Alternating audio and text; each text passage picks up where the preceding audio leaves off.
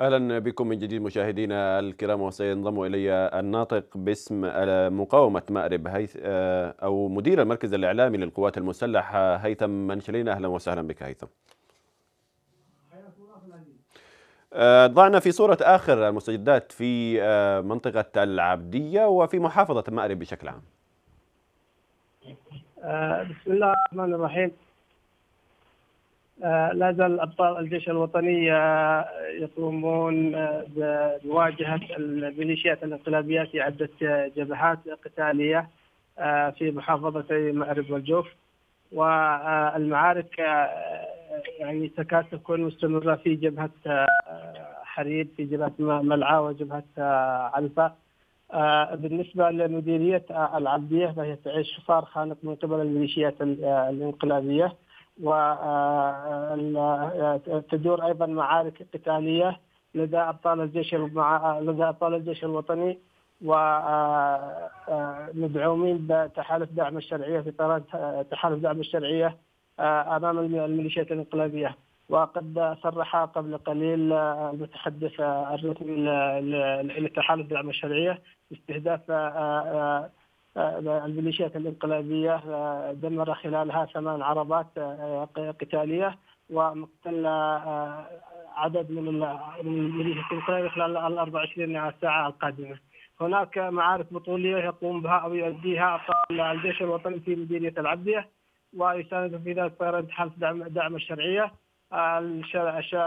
مديريه العبدية ورجال العبدية يستمد معنوياتهم وقتالهم من العقيدة التي يتحلون بها الرافضة للميليشيات ولمشروع العودة إلى الإمامة وطمس هوية ومفاهيم الجمهورية. نعم وأنت مدير المركز الإعلامي للقوات المسلحة مأرب ما يقارب العام والنصف وهي في حالة محاولات حوثية مستميتة لدخول محافظة مأرب وهناك تقدمات للحوثي استطاع أن يسيطر على البيضاء وصولا إلى شبوة والآن يحاصر منطقة العبدية يأتي السؤال هنا لماذا كان الجيش الوطني في حالة هجوم وتحول إلى وضع الدفاع بعد سبع سنوات من الانقلاب الحوثي؟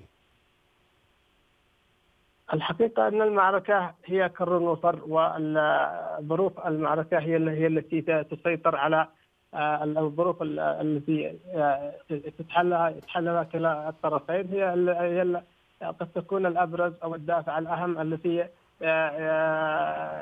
يحدد يعني نتيجة المعركة. الجيش الوطني وصل في السنوات القليلة الماضية إلى وصل إلى الحديدة ووصل إلى صنعاء ووصل إلى البيضاء ووصل إلى محافظة إبرة إلى أكثر من مكان في محافظة فاز أيضا إلا أن هناك كان تدخل قوي وسافر من قبل إذا صح التعبير المجتمع الدولي أو كما تعلمون الأمم المتحدة يعني بذريعة يسبب ذلك خناقا أو حصار للمواطنين في الحديدة وفي المناطق المأهولة. الجيش الوطني أيضا اعتمد في تكتيكه واستراتيجيته على عدم استهداف المناطق المأهولة بالسكان في مديرية نحم وفي المديريات المأهولة عموما بالسكان. فلسبب أو لغيره حصل ما حصل بالنسبة للتاخرات أو الانسحابات التي جرت بسبب قلة السلاح المتواجد لدى الشرعية نعلم جميعا أن الميليشيات الإنقلابية هي وضعت يدها وبسطت يدها على إمكانيات الدولة الدولة الجمهورية اليمنية من سلاح وعتاد وصواريخ ودبابات ومعدات عسكرية إلى غير ذلك، بينما الجيش الوطني أسس من الصفر وجمع الأحرار والأبطال إلى هذه المحافظة الصغيرة وبدا بدأت نواة الجيش الوطني من هذا من هذا المكان. ونستطيع أن نقول أن الجيش الوطني أو أن المعركة هي كر وفر ولا يعني أنها ستحسم بهذه السهولة أو كون أن أن أن الجيش الوطني هو يحمل الحق يكفي أن أن يكون ذلك نصرا أو يحقق الانتصار بدون أن يواجه هذه المعوقات.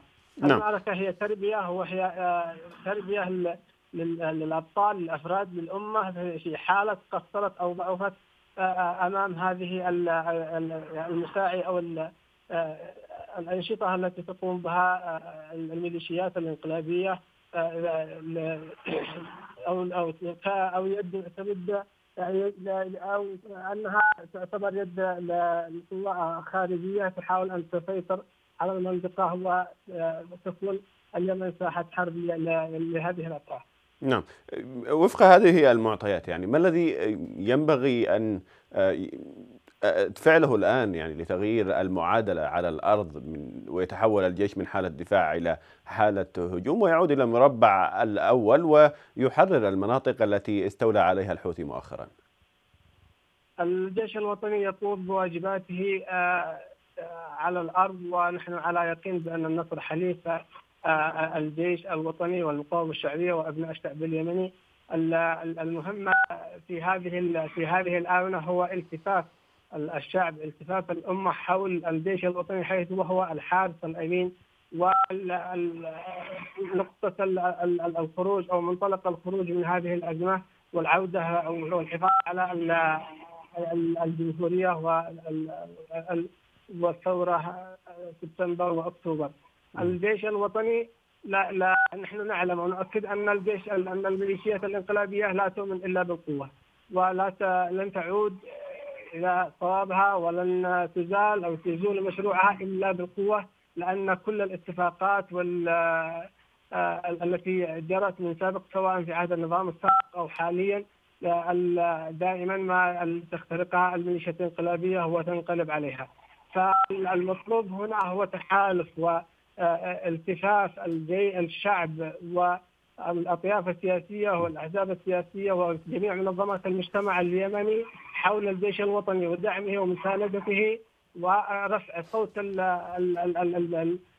المواطن اليمني المطالبة بالحرية أمام المجتمع الدولي وأن هذا هو حق مكتسب لأبناء الشعب اليمني وأن الجيش الوطني هو يقاتل عن الدفاع عن الجمهورية وعن حقوق المواطنين نعم. وعن الحرية والكرامه نعم. نعم. بالعودة إلى العبدية آه، عقيد هيثم يعني آه، ما هي يعني هل هناك مستجدات في هذه الجبهة؟ ما هي الخطوات القادمة التي سيقوم بها الجيش الوطني؟ كما تحدثت أيضا إنه التحالف العربي آه، تحدث أنه على مدى 18 يوما أوقفوا اقتحام الحوثيين في مديريه العبدية و تحدثوا عن أكثر من 128 أو 18 استهداف لحماية المدنيين بالعبدية بالطرف الآخر ما الذي ما هي التحركات التي يقوم بها الجيش الوطني؟ آه، الجيش الوطني لا, لا, لا الجيش الوطني في يقوم بمهامه ويجب واجباته على اكمل ولا تتقدم داخل مديريه العبديه شبرا واحدا. والأخوة في مديرية العبدية الرجال والأبطال إلى جانب الجيش الوطني واقفون وثابتون وصامدون صمود الجبال.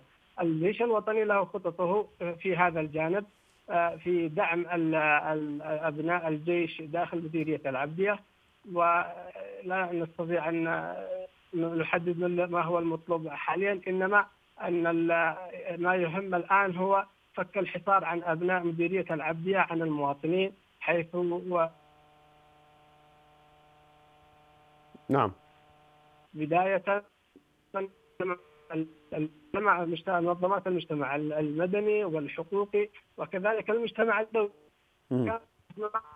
قد تراجع الجيش الوطني حفاظا على المواطنين في أكثر من منطقة وكما تعرفون ما حصل في مدينة الحديدة فمن باب أولى أن يرفع الحصار عن أبناء آه، مديرية العبدية وأن يكون هذا شعار إذا كان هنا آه، آه، منطلق صدق للمجتمعات أو للمجتمع الدولي وأن يرفع الحصار عن أبناء مديرية العبدية.